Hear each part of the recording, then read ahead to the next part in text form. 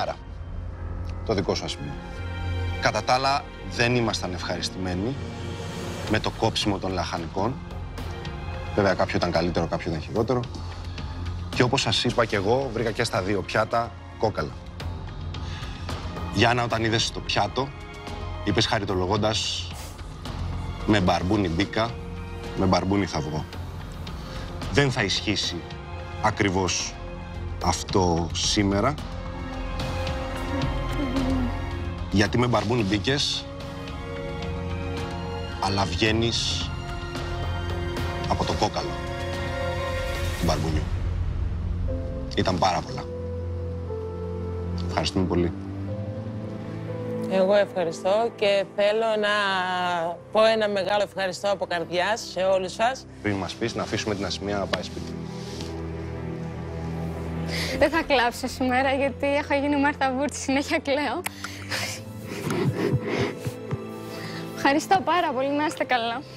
Ο στόχος μου τώρα είναι να φτάσω όσο πιο πολύ μπορώ.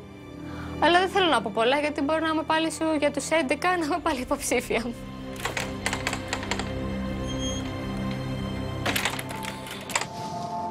Πώς ήταν το ταξίδι; Μου άρεσε εμένα πάρα πολύ. Εγώ έκανα την αίτηση γιατί μου άρεσε όλο αυτό που έβλεπα. Τι; Τίποτα, περιμένω. Περιμένετε να φτιάξω μια μπουκίτσα, ωραία. Ξαναφάγατε, γι' αυτό περιμένω. Φάγατε την πρώτη.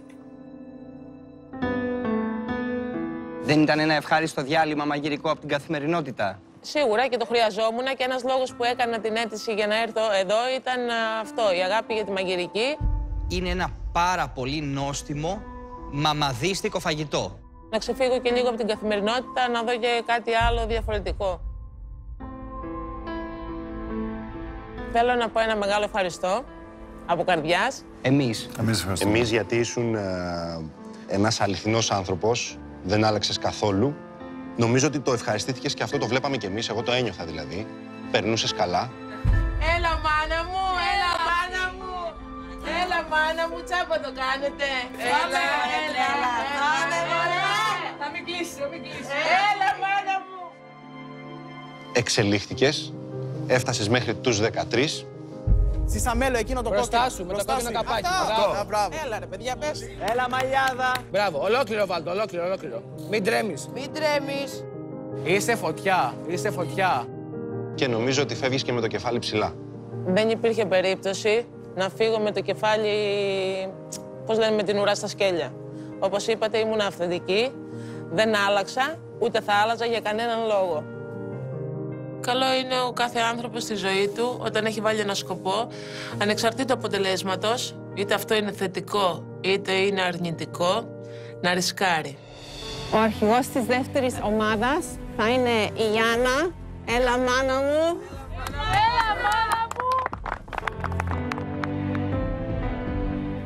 Μανίτσα, η Γιάννα. Η Μανίτσα. Η Γιάννα ήταν τεράστια, ευχάριστη έκπληξη. Την ασυλία μου θα τη δώσω στη Γιάννα. Τι έχω μάθει στη ζωή μου να είμαι και στα δύσκολα εκεί, δηλαδή δεν το χάνω. Τελευταία ερώτηση, αφού αποχωρήσεις και από το παιχνίδι. Ποιον θεωρείς φαβορή; Ο Χρήστο. Πιστεύω ότι ο Χρήστος το αξίζει και το έχει αποδείξει πάρα πάρα πολλές φορές και πιστεύω ότι το μόνο που του λείπει του Χρήστου είναι να πιστέψει στον εαυτό του και να διαχειριστεί το άγχος του. Να χαιρετήσω. Ε, Χάρηκα πάρα πολύ για όλους. Όποτε θέλετε να έρθετε κάτω, είναι ανοιχτός ο... Είχα έρθει με το σκεπτικό ή όλα ή τίποτα και φεύγω πάλι με το κεφάλι ψηλά. Και το κεφάλι ψηλά δεν είναι όπως είχα πει μόνο το μαγειρικό. Είναι και θέμα προσωπικότητας. Φεύγω με αξιοπρέπεια. Και όταν νιώθεις η αγκαλιά που σου δίνουν αυτοί οι άνθρωποι και σου λένε χαρήκαμε πάρα πολύ που σε γνωρίσαμε, ε, δεν θέλεις κάτι άλλο. Αυτή είναι επιβράβευση.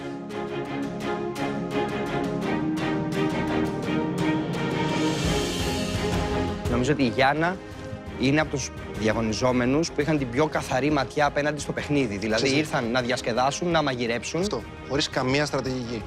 Εγώ, αν κατάλαβες καλά, δεν σου είπα να μην είσαι ειλικρινής, γιατί και εγώ δεν κρύβομαι πίσω από το δάχτυλό μου. Μιλάω ευθέως. Αυτό σου είπα. Δεν σου είπα να μην είσαι ειλικρινής, γιατί εγώ είμαι πραγματικά ειλικρινής. Σίγουρα είναι μια δυνατή εμπειρία που θα της μείνει. Και εμείς τώρα πρέπει να